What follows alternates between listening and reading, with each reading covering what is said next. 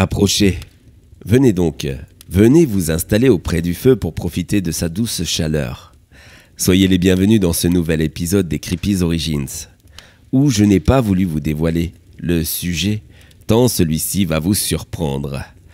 Mais avant de commencer, je vous invite à voir le dernier épisode de Toby si vous ne l'avez pas encore fait, car cette histoire est directement liée avec celui-ci. Donc, si vous ne l'avez pas vu, arrêtez cette vidéo, allez voir le dernier épisode de Toby et revenez après ici. Par contre, pour tous ceux qui l'ont déjà vu, vous pouvez vous installer confortablement. Nous allons donc commencer ce Creepy's Origins. Et bien sûr, comme d'habitude, pour commencer, nous allons remonter le temps jusqu'en été 1976. Dans le Massif central, en plein dans le cœur du pays des volcans. Ce jour de juin, la chaleur est écrasante. Le mercure affiche une température de 29 degrés et il n'est pourtant que 10 heures du matin. Les Durand n'ont pas renoncé malgré celle-ci à l'ascension du Mont d'Or, un fleuron de cette splendide région. Alors qu'ils marchent d'un bon pas, ajustés à côté de la grande cascade de ce mont, Madame Durand aperçoit d'un coup un homme nu sortir de derrière celle-ci. Elle a à peine le temps de cacher les yeux de sa fille. Offusquée, elle demande d'un ton agacé à son mari d'accélérer le pas pour quitter cet endroit où des gens sans gêne se promènent dans une tenue indécente. L'homme ramenant sa longue chevelure noire en arrière, se rit de cette scène. Lui qui vient de faire ses premiers pas sur Terre, lui qui vient à peine de quitter les enfers, c'est bien sa veine de tomber sur une famille de cubénis. Il lève les yeux au ciel et s'adresse alors à son plus vieil ennemi. J'avais oublié à quel point ils sont coincés ici. En tout cas, tu ne manques pas d'humour. La trêve entre ces deux-là semble belle et bien engagée. Il faut dire qu'ils ont convenu d'un pacte au purgatoire une semaine plus tôt. En effet, le Seigneur des Ténèbres, s'ennuyant dans ses enfers, voulait vivre une vie d'humain. Mais cette envie n'aurait pas pu voir le jour si Dieu ne l'avait accepté. Mais contre toute attente, il lui a donné son autorisation sans réchigner, donnant lieu d'ailleurs à une scène très cocasse. Imaginez donc Dieu pactisant avec le diable purgatoire. Bien sûr, si Dieu lui a concédé cette existence parmi les humains, c'est qu'il avait une idée derrière la tête. D'abord, si le Seigneur des Ténèbres prenait l'apparence d'un homme, il se fragiliserait en devenant comme tout être humain sur Terre, capable de ressentir des sentiments qu'il ignorait jusque-là. La joie, l'empathie, l'amitié et même peut-être l'amour. Mais ce n'était pas là son seul stratagème. Non, il espérait aussi que le temps que passerait Satan parmi les humains le rallierait peut-être à leur cause, et qui sait peut-être même qu'en apprenant à les connaître, il finirait par les apprécier et du coup leur épargner son enfer. L'idée d'un enfer fermant définitivement ses portes et mettant la clé sous le paillasson fit sourire Dieu. Mais on n'en était pas là. Il s'installa donc aux premières loges pour assister à ce spectacle. Mais celui-ci avait oublié à qui il avait affaire. Satan ou Lucifer, renommé sur terre Luc, portait en lui tous les vices. Et comme son apparence d'humain était très belle, il n'eut aucun mal dès ses premiers jours à s'adonner aux joies de la luxure.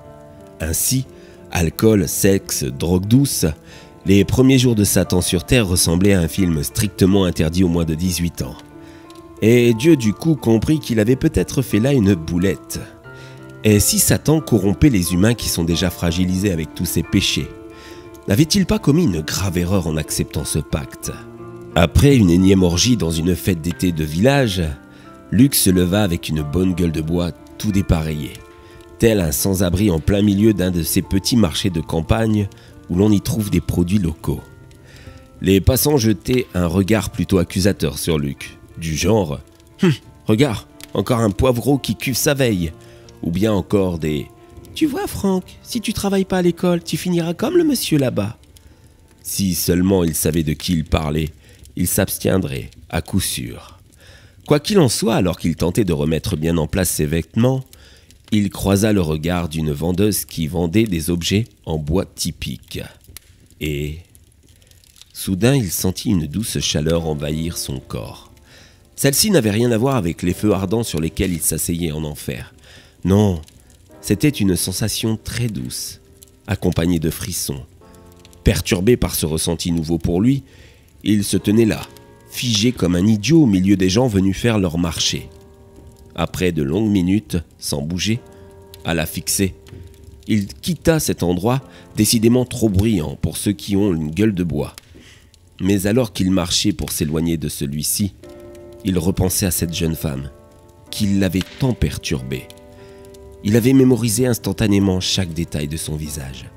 Ses grands yeux noisettes, ses pommettes saillantes, ses lèvres charnues, ses petites taches de rousseur sur ses joues, et ses cheveux roux légèrement bouclés, si harmonieux.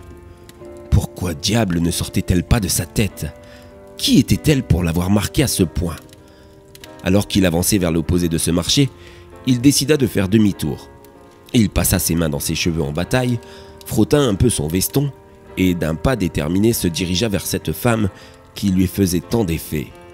Et lorsqu'il se retrouva enfin à quelques mètres d'elle, il perdit à nouveau tous ses moyens. Il resta ainsi, à l'observer, discrètement jusqu'à la fin du marché. Lorsque celui-ci fut enfin terminé, la jeune femme commença à ranger ses caisses d'objets dans le coffre de sa voiture. Mais voyant les efforts que celle-ci devait faire pour soulever certains d'entre elles, Luc s'approcha pour lui donner un coup de main, qu'elle accepta volontiers, soulagée de ne pas avoir à se casser le dos une fois de plus. Le chargement terminé, Luc lui dit alors Euh, accepteriez-vous de prendre un verre avec moi? Je serais ravi de faire connaissance avec vous. Contre toute attente, la jeune femme accepta. Elle qui rembarrait si bien tous les hommes qui tentaient de la courtiser, elle se laissa tenter, car il y avait un je ne sais quoi chez ce brin ténébreux qui était différent. C'est ainsi qu'ils s'installèrent en terrasse, deux heures durant au cours desquelles ils firent connaissance. Elle s'appelait Marie. Eh oui, encore sûrement une blague de son vieil ennemi. Elle avait 28 ans. Elle travaillait comme aide à la personne et faisait les marchés le dimanche pour vendre les objets artisanaux en bois que son père confectionnait toute la semaine. Et surtout, elle était belle. Incroyablement belle. Diablement belle. Après cette longue conversation, Marie dut prendre congé, laissant Luc complètement perturbé. Il erra ainsi toute la journée avant de retrouver le soir même ses compagnons de soirée pour ce qui s'apprêtait à être une nouvelle nuit d'orgie. Les dorses résonnaient dans le poste de radio, la bière coulait à flot, les filles étaient chaudes comme de la braise. Pourtant cette fois, Luc n'était pas à la fête, plongé dans son unique pensée, celle de Marie. Il se coucha bien plus tôt, après avoir rembarré Natalia, cette jolie brune aux formes généreuses avec qui il avait pourtant passé des nuits très torrides. Le lendemain, il décida de partir à la recherche de Marie. Elle lui avait dit où elle travaillait. Et c'est donc tout naturellement par là que ses recherches commencèrent. Et finalement, il retrouva la voiture de Marie garée devant une très jolie maison. La veille, elle lui avait parlé de cette demeure, où elle prenait soin d'une vieille dame fortunée qui vivait avec sa fille qui ne daignait même pas prendre soin de sa propre mère. Il prit son courage à deux mains et frappa à la porte. Bonjour madame, j'aimerais parler à Marie s'il vous plaît. Merci. La femme, après l'avoir scruté tel un bon morceau de viande, lui dit alors d'attendre, qu'elle allait la prévenir. Après des minutes qui lui parurent interminables, elle arrivait enfin. Étonnée de le voir, elle rit et lui dit qu'il ne fallait pas qu'il vienne sur son lieu de travail, que cela ne se faisait pas. Mais elle accepta aussi son invitation après son travail. Luc se posa donc sur un banc public pour l'attendre.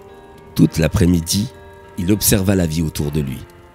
C'est drôle, pensa-t-il. Ça fait 15 jours que je suis ici, je n'ai même pas observé les humains. Alors il prit le temps de le faire. De voir ce père aimant jouer avec son fils à la balançoire. De voir cette maman donnant le biberon à son bébé. De voir ses enfants pleins de vie crier en descendant du toboggan. De voir aussi ces deux adolescents se tenir la main, les yeux remplis d'amour l'un pour l'autre. De voir la vie, lui qui était si habitué à la mort. Je finis par comprendre pourquoi tu les aimes tant, pensa-t-il. Mais il fut tiré par ses pensées par la jolie Marie qui venait de le rejoindre. Ils restèrent posés sur ce banc à discuter pendant un long moment. Puis, ils finirent par pique-niquer au bord d'un petit lac jusqu'à la nuit tombante. Ils ont passé des heures à parler, à rire. La jeune femme commençant à avoir un peu froid, à sentir la fraîcheur de cette douce nuit d'été, vint alors spontanément se blottir contre Luc surpris. Tu, as froid? Euh, Attends, je vais te réchauffer. Elle ne lui dit pas un mot et resta blottie contre cet homme si chaud. Luc la tenait délicatement. Elle releva alors sa tête pour lui sourire, le remerciant de si gentiment lui donner chaud. Il plongea alors son regard dans les yeux noisettes de la jeune femme, leur visage s'approchant délicatement, jusqu'à ce que leurs lèvres se frôlent, se touchent, en un baiser tendre et fougueux à la fois. Marie tremblait de tout son être, tandis que Luc semblait complètement perturbé par l'explosion de sensations qu'il ressentait.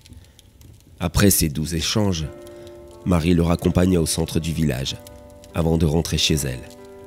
Luc regardait la voiture s'éloigner, tout en pensant qu'il aurait aimé prolonger cette soirée, qu'il aurait voulu rester près d'elle, qu'elle lui manquait déjà, et qu'il lui tardait de la revoir demain.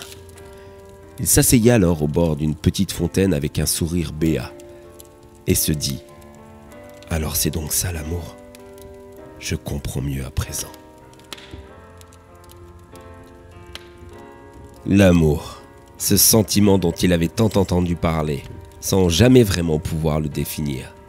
Combien de morts arrivaient chez lui chaque jour directement à cause de ce sentiment? Suicide dû à une rupture, crime passionnel et tant d'autres.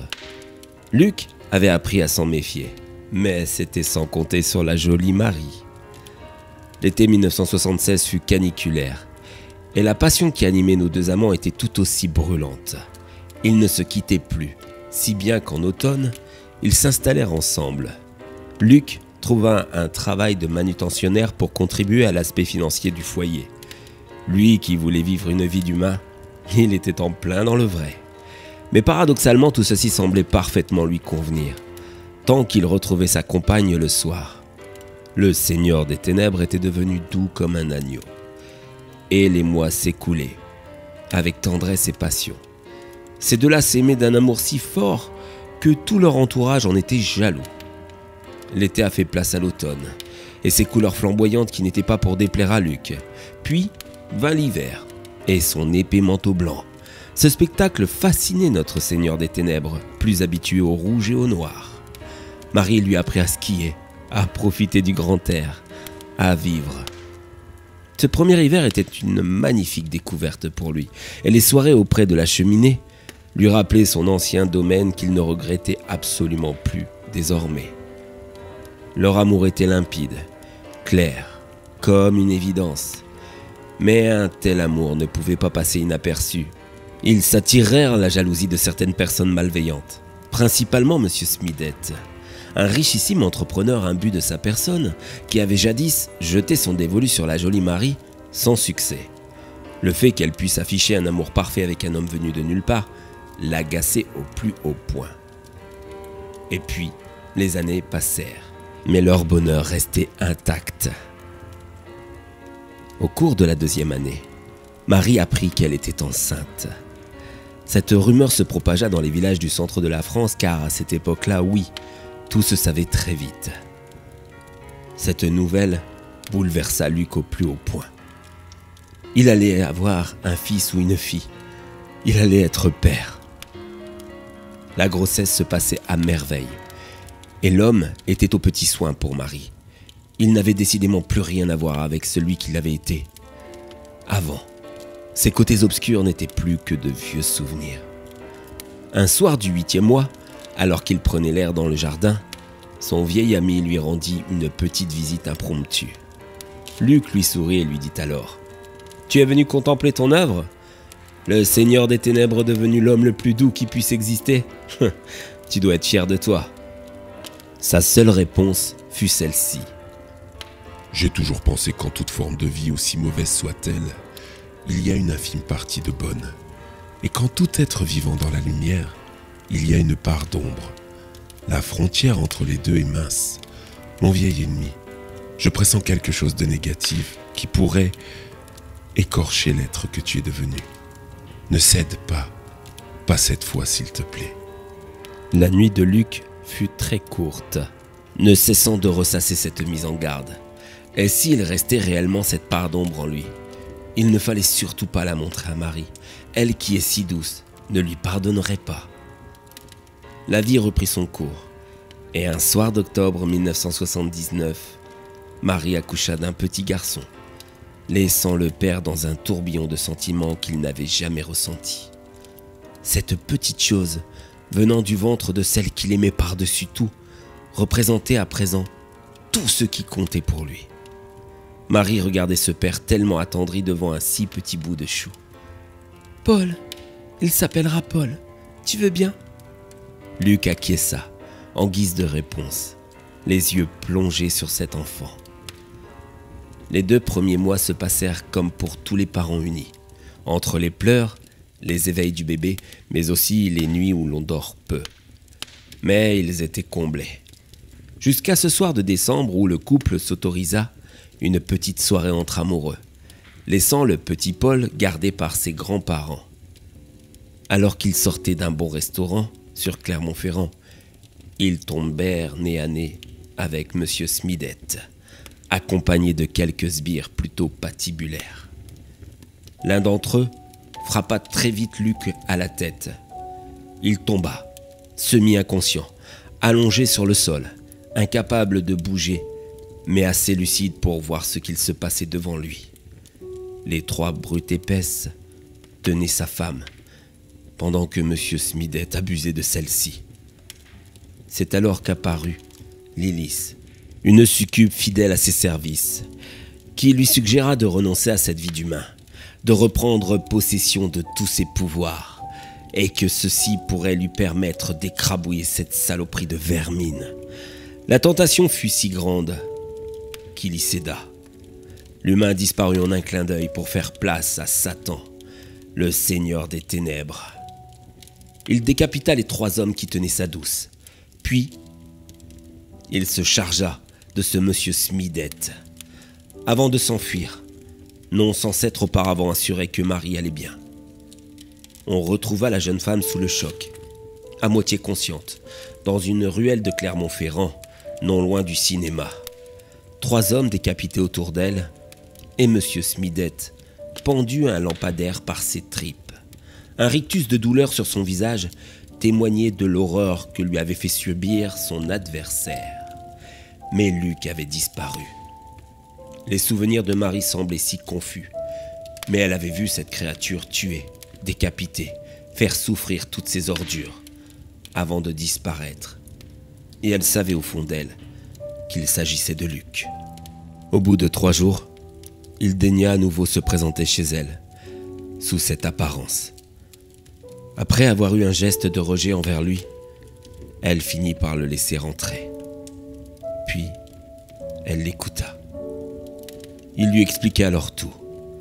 Qui il était depuis le début, pourquoi il était venu sur cette terre, et surtout, qu'elle était la seule femme qui comptait, qu'il serait là près d'eux à veiller sur son fils et sur elle.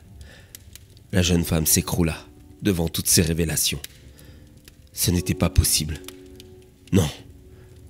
Avoir pour conjoint le Seigneur des Ténèbres, avoir enfanté l'enfant d'un démon, elle ne pouvait pas se faire à cette idée. Jamais. Elle pria, puis elle lui dit de partir, de dégager de sa vie, qu'elle ne voudrait plus jamais le voir. Avant de prendre congé, il lui demanda alors une dernière requête, celle de pouvoir voir son fils, Paul. Elle le laissa faire. Satan se pencha alors au-dessus du berceau. Il regardait cette petite merveille. Il le saisit par le bras. Malheureusement, ses doigts brûlants firent crier le petit garçon, lui laissant une brûlure sur l'avant-bras représentant un S à l'envers si on y regarde de plus près. Marie se mit alors très en colère. Elle lui hurla dessus, le priant de ne plus jamais approcher de cet enfant, lui criant de dégager de cet endroit et de ne plus jamais y revenir. Satan prit congé. Il alla se poser sur la colline non loin de ce qui fut jadis son doux foyer. Il regardait cette maison avec nostalgie. La tristesse le remplit au point qu'une larme coula sur son visage, gage qu'il s'était humanisé considérablement, qu'il s'était même affaibli.